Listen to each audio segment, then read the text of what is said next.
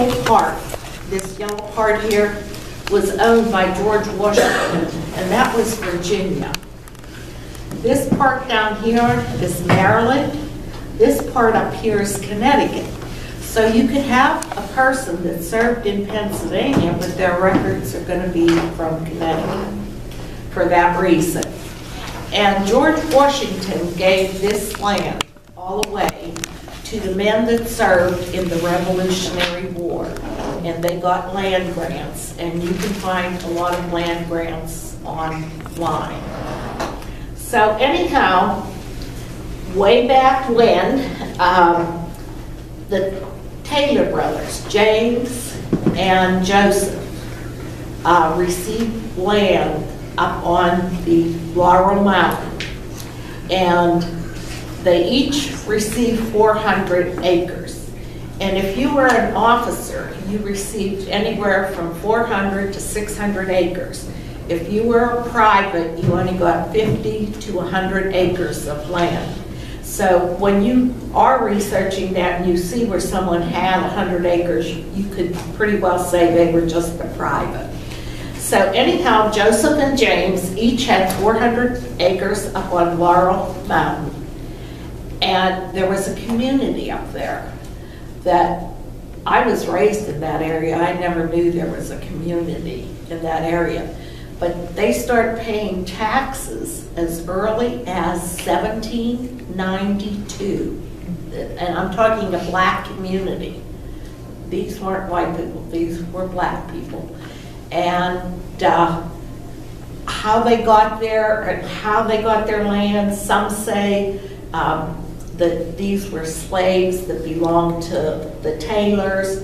And since uh, Maryland had passed some laws uh, that they moved on to Pennsylvania because they had to claim these people, you know, in their taxes and everything. So I don't know. But in 1762, I have a Jacob Hirschberger that dies in Lancaster. And when he died, he had taken an oath of allegiance to the English king. So he was able to disperse all his lands. Uh, if you did not take that oath of allegiance, you were not able to pass that land on to your family, your sons, your daughters. But he passed everything on, so he took the oath of allegiance. And in there, he leaves so much money to the grandkids, so much to his kids, and the kids that he had, the children that had already passed, then the children that that mother or father had got their share of the money. And sometimes he specified that the husband wasn't to receive or the wife wasn't to receive any of the money, just the grandchildren. So anyhow, there is a note, and it said, his daughter Hannah, who has a daughter, it didn't say slavery, but it said when she is set free. And at that time, if you lived in Pennsylvania and you were a black person that had a white parent, you were enslaved for 28 years. And so in his will, he said, when Hannah's daughter is set free, and he had the same amount of money set aside for her as he did all his other grandchildren. Now, it's possible that that Hannah had a daughter by the name of Elizabeth because Jacob's wife's name was Elizabeth. And in naming, you know, people usually named after relatives and everything else. So in 1828, Elizabeth sets forth from the Lancaster area. And at that time, the canal wasn't, you know, here yet. The canal was started in 1830. But at that time, they left home in the summer, arrived in Johnstown in November, and travel depended on the weather. If you had bad weather and muddy roads, you weren't getting too far. So they arrived here in November of 1928. But Elizabeth's son, William Hirschberger, was already on the hill. He was a blacksmith in the Laurel Hill village. Whether he came after the Revolutionary War or whatever, in um, one of the histories, uh, Story, I think it is, the man's, I can't remember his first name, but Story has those history books. And he states in there that Henry Hirschberger's wife was not white. So I, I don't know how this all comes about. And also in Hirschberger history, Isaac Hirschberger, who was a son of William Henry Hirschberger and Jane Hirschberger. Now, Jane is uh, usually listed as Indian, but uh, Isaac was definitely a black man when he was younger. Now, a lot of the black people, if they intermarried with whites, they ended up as white. So anyone that lived on that mountain that could pass for white, when they were old enough, they left that mountain. And they passed for white in Altoona and Williamsport and all over this area. But you can trace the name back, you know. And one man I spoke with, he was very, no, he was livid. And he said, no, no, no. And, you know, th- this is part of history. Um, I have grandchildren that are black. I have a son, a grandson that his roots are all from Slovakia, and he has 2% black in him. So who knows what, you know, what our makeup is. So these people lived very quietly on the hill. And at that time, when you talk about the roads to Bedford, Ligonier, you have to realize that Richland was part of Bedford. And the, if you go down and stand on the John Street Bridge, you can see the stones. And they took the stones that were part of that Bedford Pike or Bedford Road, and they used that as the base for the canal in a lot of places. And when you got down to like Morrellville, you would shoot up Fairfield Avenue. That was still part of Bedford Pike, and it went through the lands and over to Ligonier. Now, I showed these pictures to someone over in Ligonier, and they said, no, no, no, no. So, I don't know. Maybe I'm on the wrong track, but I don't think I am. And these are some pictures, I'll pass them around to everyone. We started and we went up past St. uh, Stephen Cemetery, and when you come to that flat part, I, I don't know what the road's called, some people refer to it as the Fire Tire Road, Fire Tower Road. And as you continue up though, that's Mountain Road. And Mountain Road goes up, across, and down into Westmoreland. And it's all Mountain Road. They tell me Westmoreland, part of Mountain Road is in very, very bad shape. down past, uh, Sugar Run Dam. I, I don't know. But when we went to the mountain, when we got to that flat part, we went up the left side of the mountain, which that part of the mountain, Mr. Fratrick opened all the springs available, and it is very mushy, muddy, mucky. But, like I said, going up there, you can see places where there's some daffodils along here. So in all probability, at one time, 200 people lived on that mountain, black and white. And one man, he's now deceased, John Smith, he told me I had aunts as white as you, and he was a very dark man, and he said I had aunts as black as me. He said, but we were one family. So this is, you know, going up the mountain road, and I took a picture man, he carved his name in there, uh, Joe, Joe? Yeah, Joe, and Norman. And I took that because at one time there were, there were Josephs and Normans on that mountain, and it's one of those chestnut trees that fell down.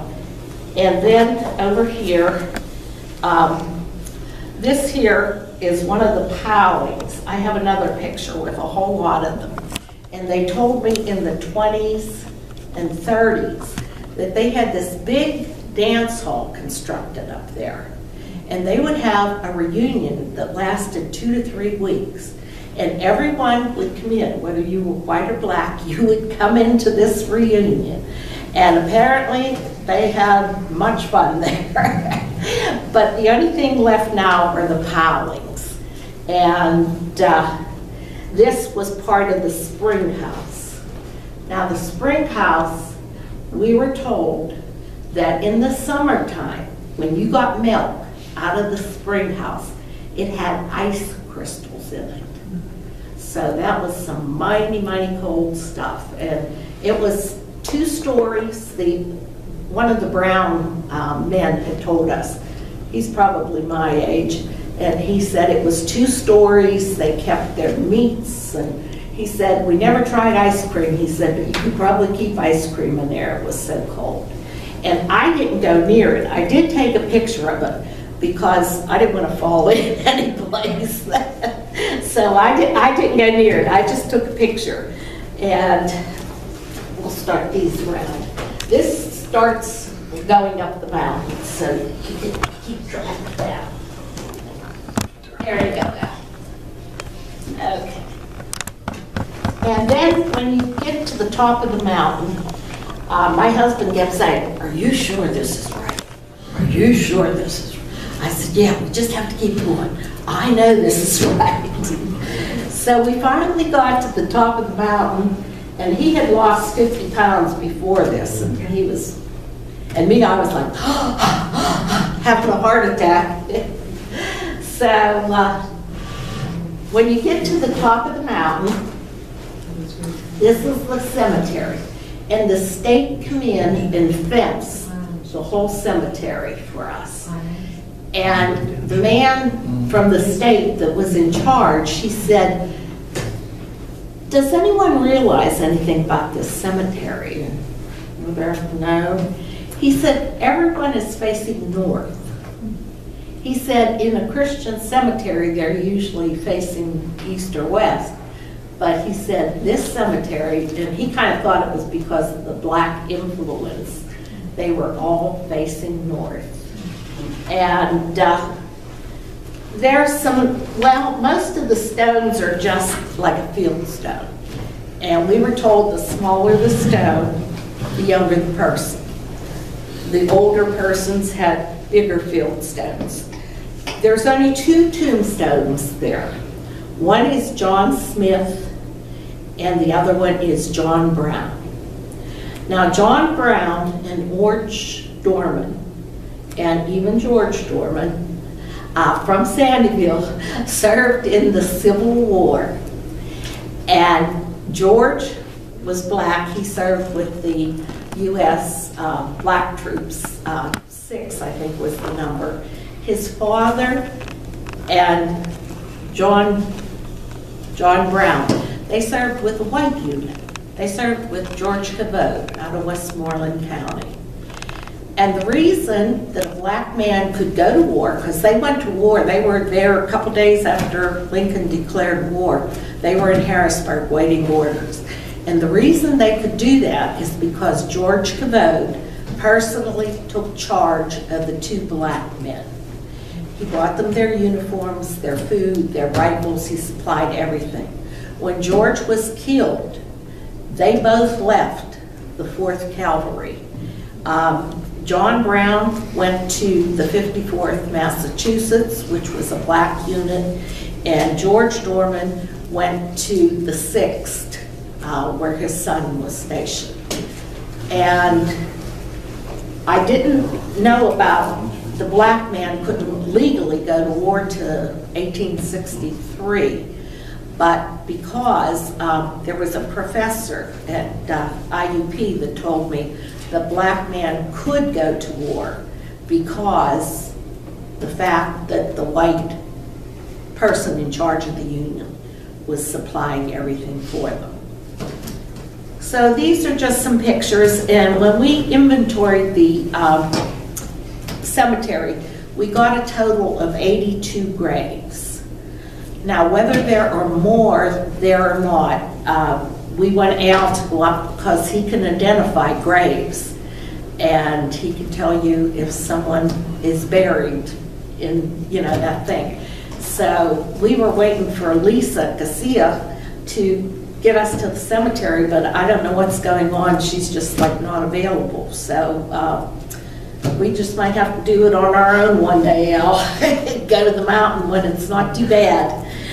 But uh, like I said, there's 82 people, and in 1956, the state stopped burials there. They said no more burials. So there was a boy in 2012, he brought his mother's ashes, she was part of the Brown family. He brought his mother's ashes back here and he attached a cross to the tree. I haven't been up since, I really don't know if the cross is still there. But he buried her by that tree and he wanted that cross there for, you know, as a remembrance. And the last one that was born there, or buried there in 54, was a little boy by the name of uh, Daniel Brown. He was uh, four years old, and he died of some kind of tumor, something like Wilson's Wilms. Willem's tumor. Tumor, and there's a picture of him before he dies, and he, his stomach is just very, very large. And he was the last one to be buried there. And his brother, who looks like a white man, you know. In fact, uh, when a white person marries into a black family, if it's all black, it takes a while to come back to white. But if two black people or biracial have white in them, their children can be white, biracial, or black. And this accounts for a lot of things, um, like um, oh, what was the name? Oh, Dinah Shore. I thought about Dinah Shore. Dinah Shore, she had a black baby, and in 1949, and her husband was Montgomery. I don't know if it was Robert or George or George. George was it George? Okay. George. And he was of Russian descent, and he said to Dinah, "Mm, "No, no, no, this isn't my family." But when someone did his tree in 2004 or 6, somewhere along that line, when his Russian grandfather came to the United States in 1870 and landed in Texas, he married a negress. And they were usually referred to negresses if they were had prosperity and were very elegant, then they didn't refer to them as Negro, but Negress. And so that's why Dinah, who had black and admitted she had part black in her, that's the reason they had a black child, because two white people or two black people that have white, you know, mixed genes in them can have all three shades. So her baby really belonged to her husband, not Sammy Davis Jr. And he got blamed because he was the only black man in Hollywood at the time. so it, it's just very, very interesting. I had to study genes. I learned about genes from Megan Smolenyak. Smolenyak, I don't know if anyone's familiar with her, but she works on PBS, or she did, and she does a lot of uh, different things. And I had to learn about the, you know, genealogy type thing from her, you know, who's married what and, and what the results could be. So this family is part black and part white today. Usually the white ones do not associate with the black ones, although they're starting to mingle, thanks to me. Uh, I said, oh, but this is your cousin. you know, you have to get to know them. They are really superior people. and even George Dorman, I mean, he always, he died in 1900, and his obituary, when I looked it upstairs, was covered an 8 by 11 page. And for an obituary in 1900 for a black man, we're talking unusual. Because even the white people usually had John Adams, son of so-and-so, died, will be buried tomorrow. you know. This man had an an 8 by 11 obituary. On Virginia Avenue, uh, all his neighbors were white, he was black. And he never lived on the hill, his children did, but he never lived on Laurel Hill. He had actually come here from Westmoreland County. And he came about 1881, and at that time it was some sort of depression going on, things were bad, work was bad, and so they came to the Johnstown area. And at one time, you could go from Ligonier or Westmoreland County up Mountain Road, across the top of Mountain Road, down Mountain Road to Cambria County. And there's also the Fire Tow- Tower Road. And also, if you continue on that road that goes straight up, it takes you to 271.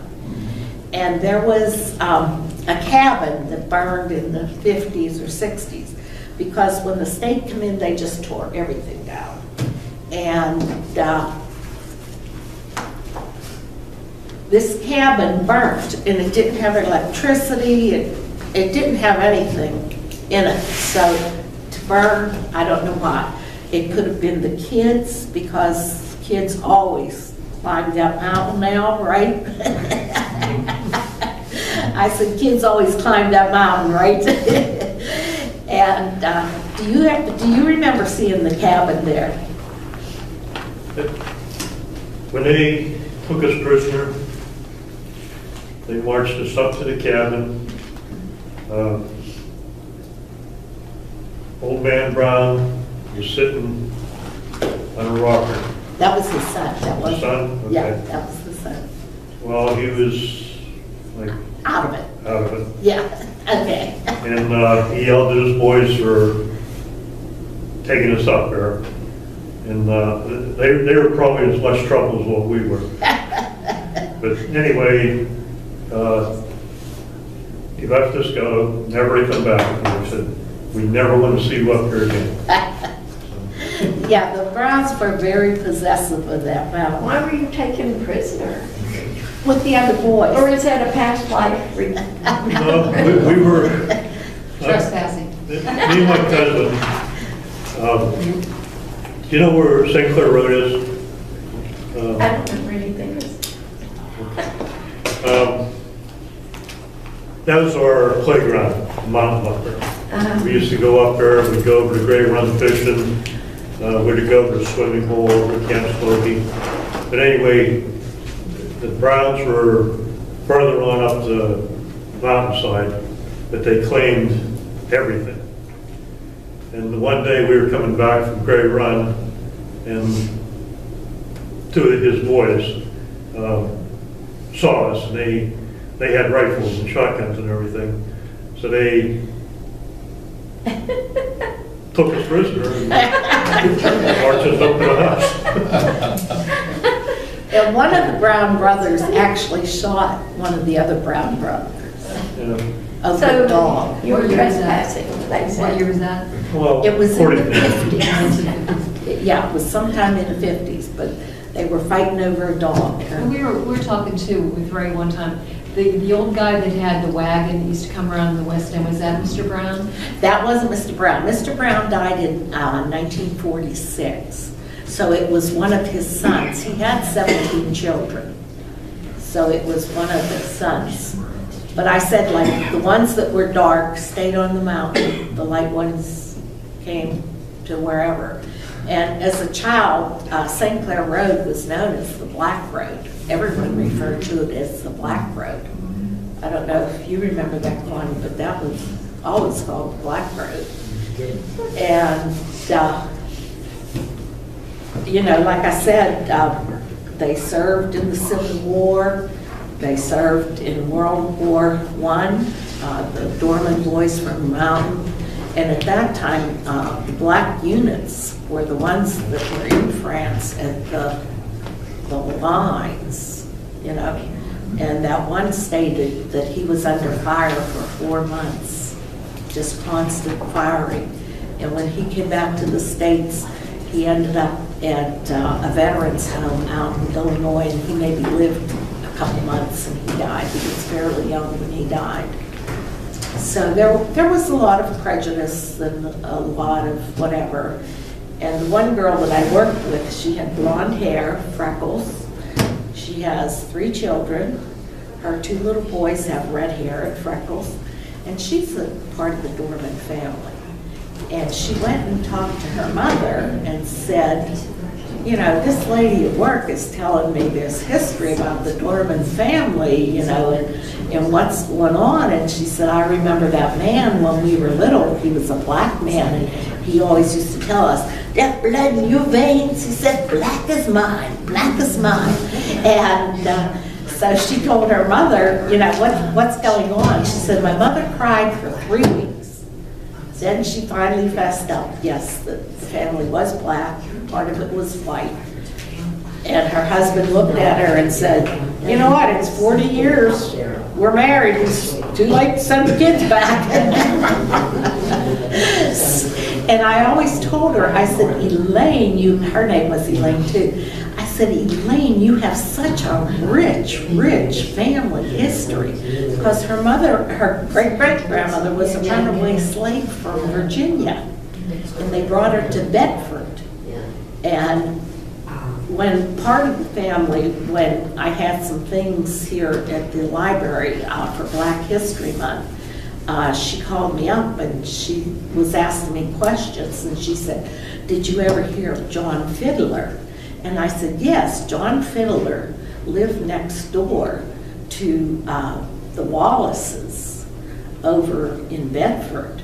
I said, they worked the Underground Railroad together. And she said, you're the first person that knew John Fiddler. She said, we were always told about John Fiddler. This is like a black section of the family. And uh, they all tell me, they say, you know more about my family than we ever knew, you know. But this is simply because I found it so interesting to research. And like I said, they, they had a marvelous history. They went off to war, and, you know, they were very, very prominent people. Because, you know, back in 1900, for one black family to live in a white community, that was, that was fairly unusual.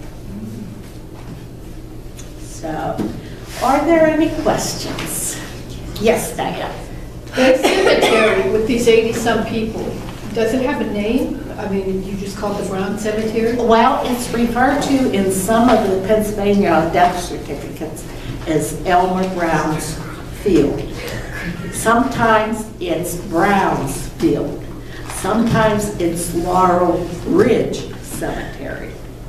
Oh, but I've been trying to track down all the death certificates uh, from Pennsylvania that are buried in either Elmer Brown's or Brown's or Laurel Ridge or Laurel Hill, whatever they called it.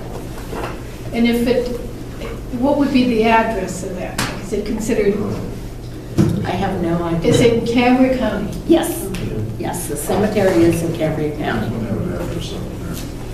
And I don't mean a street address, I mean, it- it's considered Johnstown, PA.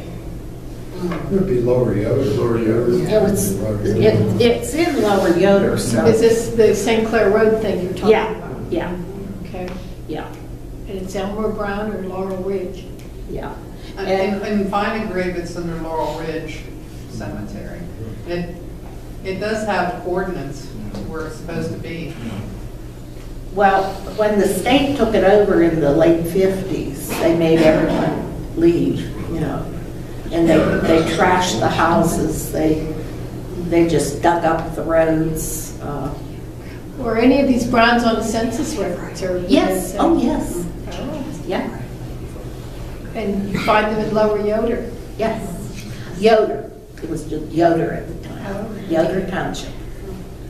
They were still there in the early sixties. Yeah. Yeah, but the state basically put them out. And a lot moved further down.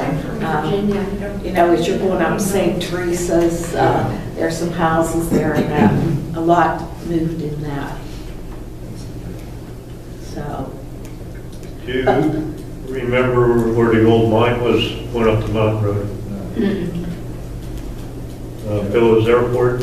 I know where Billings is, yes. Okay, across from the entrance to Village Airport on the other side, there's like three or four houses. Mm-hmm. If you go, continue up the mountain road a little bit, on the left-hand side, there used to be a mine right there. Oh, And then it okay. had the mining, you know, the old mining cars, the Yeah, wood ones, you know, the track, they would go in. We got thrown out of there too. Well, Elmer, Elmer had two white horses, and he would drink at that bar on Fairfield Avenue. I can't remember what they call it now. Alcove. Yeah, Alcove, that's where Elmer went. And they said he would get so drunk, he would crawl in the wagon, he'd hit the horse on the rump and say, take me home. And they said that he would, the horses would take him up Mountain Road, sometimes stopping at his daughter's house and sometimes taking him all the way to his house. Now, Elmer's house, it was passed down, and I have, I had a picture of it, I don't have it right now, but um, they believe it was George Washington's headquarters, because the land was his, it was, you know, Virginia one time, part of Virginia. And they had this great big room where the kids said they rode their bicycles, they played basketball, and they always referred to it as the banquet room. And after the boys got back from World War II, they did put a new roof on the cabin because it was, you know, really, you figure 1792, and here it is, 1945, you know, we have a lot of years in there. But uh, this room had a great big fireplace from what we were told, and it did have wood floors eventually. When they were put in, I don't know, but lumbering, blacksmith, that was all part of their, uh, you know, life up on that hill. Plus, they also grew gross, uh, groceries, yeah, carrots and tomatoes and everything, and brought the produce down to uh, uh, Morrellville to sell. And the one man was referred to as uh, Sassafras John because he always sold sassafras tea. But they, they just made their living off that mountain. And when you go up that one side of the mountain, it looks like someone took a giant knife and just cut the rocks. And that was what was laid down for that trail over to Ligonier. Even though Ligonier says that's not true. You know, That, that trail goes over to Fort Palmer. I, I don't know where it goes to, but I know it went up that mountain, but they, they destroyed a lot of it with the bulldozers and stuff. Mhm. And there's only one section on that picture where you can still see about 12 foot of the road. So, I don't know, did they make it or didn't they make it? Why did someone cut the stones in such a straight line? And once they laid the road down, they put about 12 inches of dirt on it. So when their case, caissons and cannons, you know, wouldn't sink into the dirt, and there was that stone base, you know, that they could still travel That's what they did over on Route 30 by the uh, Ship Hotel when you come up the mountain there. There's only one path. Remember we were back in there at that uh, Earthen Fort? Fort back in there? Yeah. Yeah. They could move stuff if they want to back then. They had the manpower, you know. Yeah, well, they say if you go to England and you go to the archives, that you will find the name for every fort that was in Richland, and there were about five Bedford forts in Richland. And they said you will find very detailed information. And someone said, why don't you go? I said, because I don't think they would let me move in. So, you know, but you, you can find the information if you really, really want to. And, uh, like I said, you know, one John Adams, his, when he fought for the British during the French and Indian War, his, uh, red jacket is down at the Smithsonian. So Elaine, did this whole, this whole talk that you did, did that all come about because of the Dorman request for research? Yeah, Oh, wow. back in 2002, Jim Dorman wrote a letter to our group and said, hey, I'm a white man, I'm chief of fire department in Youngstown, Ohio, but he said, I'm doing genealogy, and he said, all my roots come back to Johnstown as black.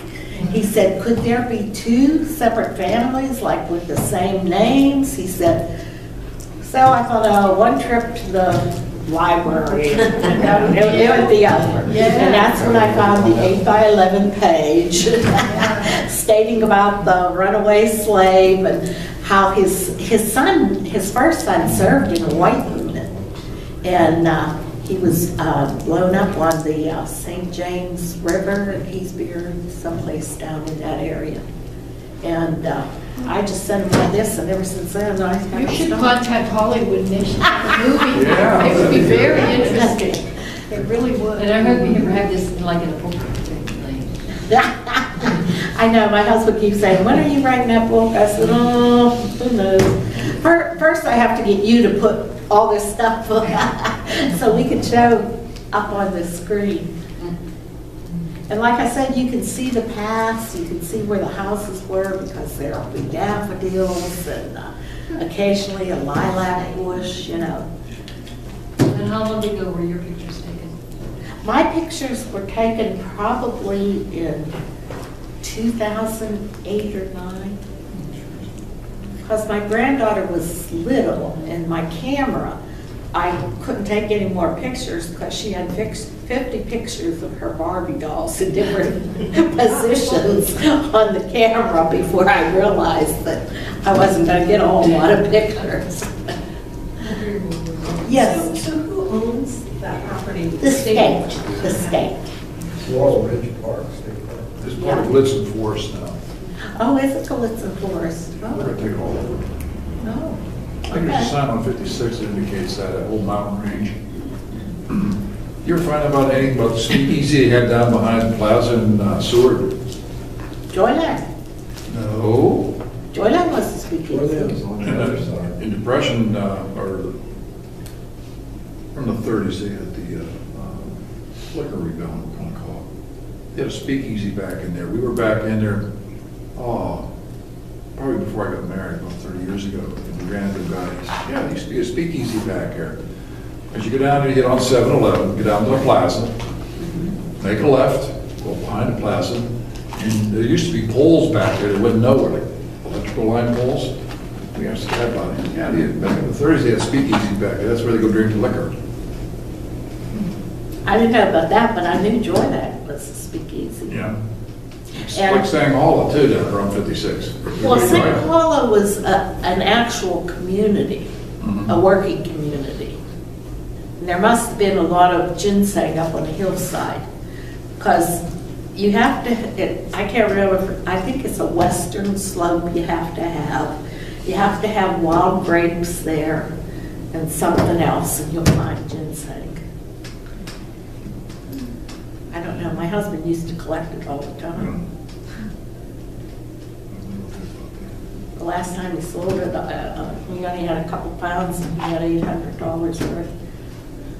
So, Yeah, the guys who, who do that, they don't like to tell anybody where they're finding it. I know, I know. He, he only tells my son where he can find it if he wants to. So, but Joyland, going down 403, there's like nothing there. That's because the owners of the original Joyland bought all that land, so no other speakeasy could come down that road.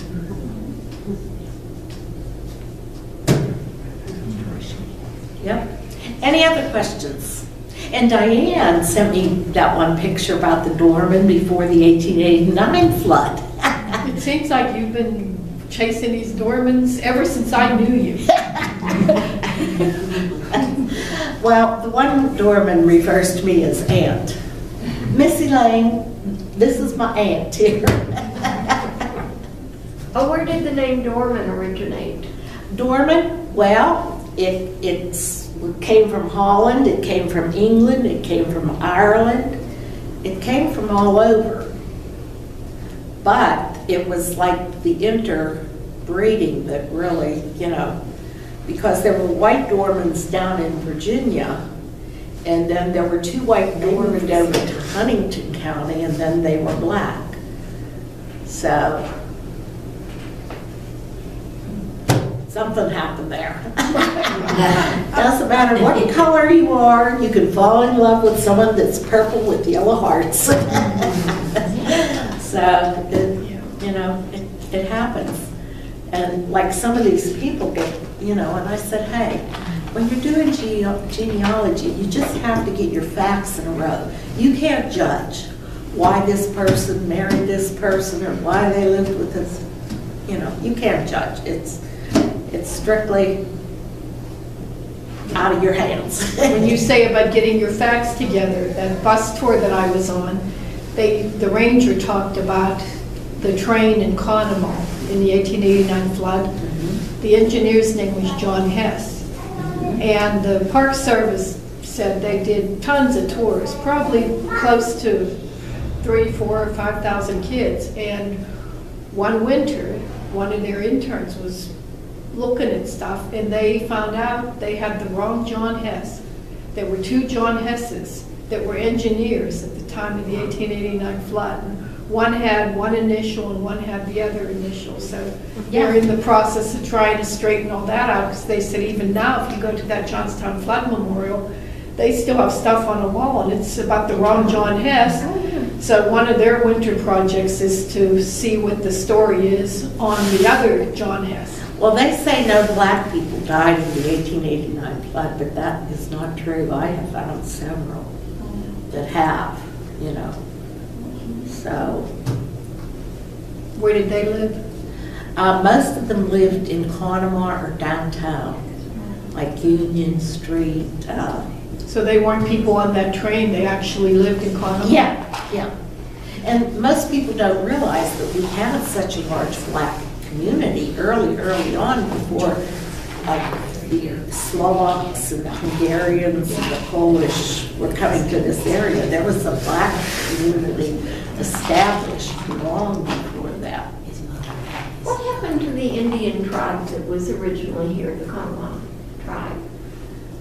Uh, a lot of them went to Ohio and then they got expelled because one of the Browns told us in their family history, they always said, don't settle in Johnstown. That's why they were up on the mountain, because they said it flooded too many times. Oh, And, and there were lots of floods. uh, The one was about 1816 or something, they called it the pumpkin flood. Now I have a chronological list of all the floods. I was just at the museum last week. I had Yeah. friends visiting. Yeah. Yeah. Because my husband's family, they were, you know, there was Indian, his family, and that's how they survived. Because when I was in fourth grade and I asked my teacher, I said, well, how did Samuel and Solomon and Rachel Adams, what happened? Oh, the Indians killed them. And my husband's grandfather used to say, heck, they killed us, we bred with the Indians. So, I just never know about your genes. Yeah. Yes, Joy? So, so the, um, the Browns and the Dormans that were able to assimilate and they passed, did they say on the census that they were white or did they say they were black? Well, the last cen- census that Orange Dorman Jr. was in, he had a white wife, and he was listed as white. His wife was white, and all the kids were white. So it fluctuated, because even that Elaine, you know, that I talked about, her grandfather was a Jacob Dorman. And when he was small, he was always listed as black. But then once he got older, on the census, he was listed as white. And you can understand why people would do that to pass. I mean, your Yeah. privilege was much greater if you. Yeah. Yeah. Yeah, yeah. So, like I said, some black, you know, married black and some married white, we have this big conglomeration, the Crawleys, the, uh, they're part of the, this Dorman family, and, uh, the Wallaces, and they always said that Pauline Gordon said don't dig up the past. She said, just leave sleeping dogs lie. So, should look into her, because usually when people say that, well, well, you know, does she want to claim the white that's in her? You know, who wants to claim what, you know? I got my other DNA from Ancestry, and nine percent was that Asian, and ninety-one percent was Eastern European. Asian, Asian. okay? So, who knows? Who knows, you know? But then they changed their uh, percentages and uh, everything changed. So I'm not eleven percent Scandinavian anymore. Well, my kids had a big, you know, different percentages. I was the only one with ninety-one percent. So.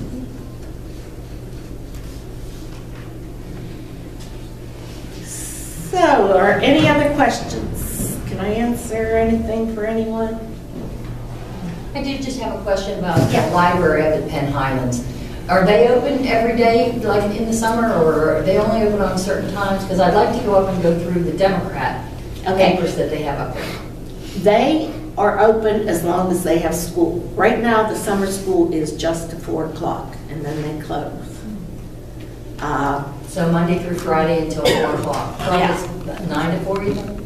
Probably, probably. And how how far back do they go? See if he, if, Uh, Sometime in the 1880s. and they skip around. And some of them I have found, like she said, I hate I would come to make here. you wait. Um, And there they are on my, you know, listed as fourth and fifth, six cousins. And then he would be on probably then. Thank you, very interesting.